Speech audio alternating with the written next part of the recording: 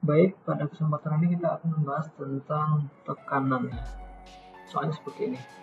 Perhatikan gambar di bawah ini dalam keadaan seimbang gaya F1 sebesar 40 kN mampu menahan beban sebagaimana dicari pada gambar. F1 sebelah kiri, luas penampang A1 itu sebesar 1 meter kuadrat.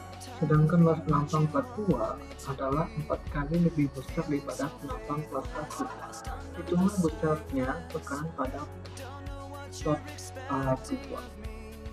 Nah, jadi yang pertama yang kita lakukan adalah kita dulu apa yang diketahui.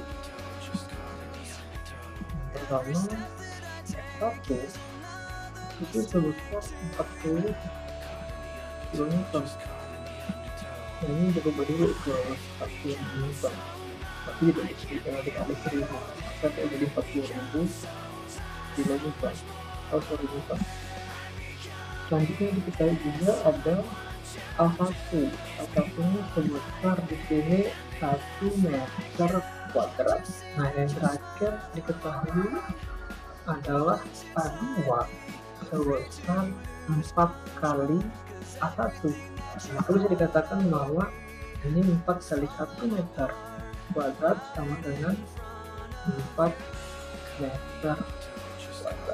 Selanjutnya yang ditanya adalah besarnya tekanan pada plat A2 kita akan selesaikan seperti ini ya perlu diperhatikan bahwa ketika ini diberikan tekanan sebesar satu maka di sini juga akan terjadi tekanan yang arahnya ke atas. Sebesar satu juga yang membedakan adalah gaya yang dihasilkan nanti berbeda karena di sini diketahui F2 nya pasti lebih besar daripada F1 nah jadi secara matematis kalau kita memberikan satu tekanan di sini maka yang keluar juga akan satu tekanan. Kalau kita memberikan dua tekanan maka dia akan juga keluar dua tekanan.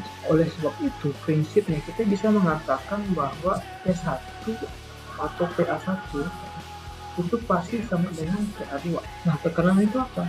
PA1 maka dia akan jadi seperti ini. Karena tekanan itu adalah gaya persatuan luas.